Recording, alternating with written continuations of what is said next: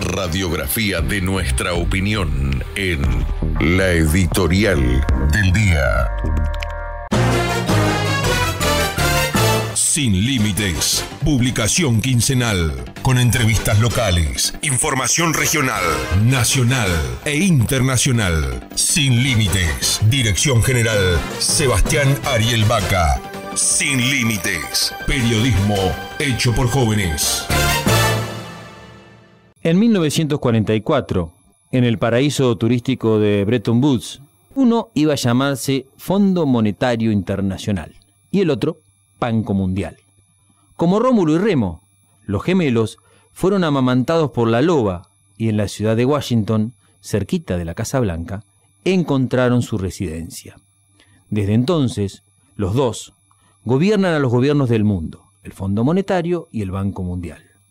En países donde han sido votados por nadie, los gemelos imponen el deber de la obediencia como fatalidad del destino.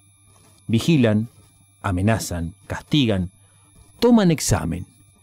¿Te has portado bien? ¿Has hecho los deberes? Tengo la sensación de, que con un nuevo examen del Fondo Monetario nos van a mandar a diciembre Espero que no sea a diciembre del 2001. Ojalá que no veamos al futuro repetir el pasado. Y tu cabeza está llena de ratas. Te compraste las acciones de esta farsa y el tiempo no para. Yo veo al futuro repetir el pasado de grandes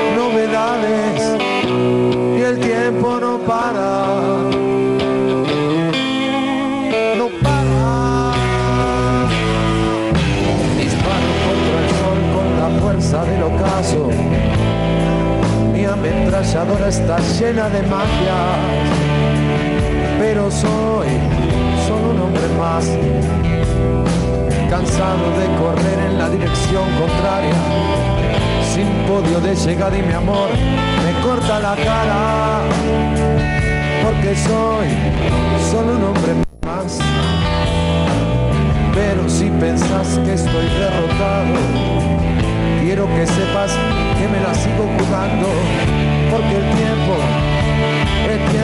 para. y otros no. Estoy sobreviviendo sin un rasguño por la caridad de quien me detesta.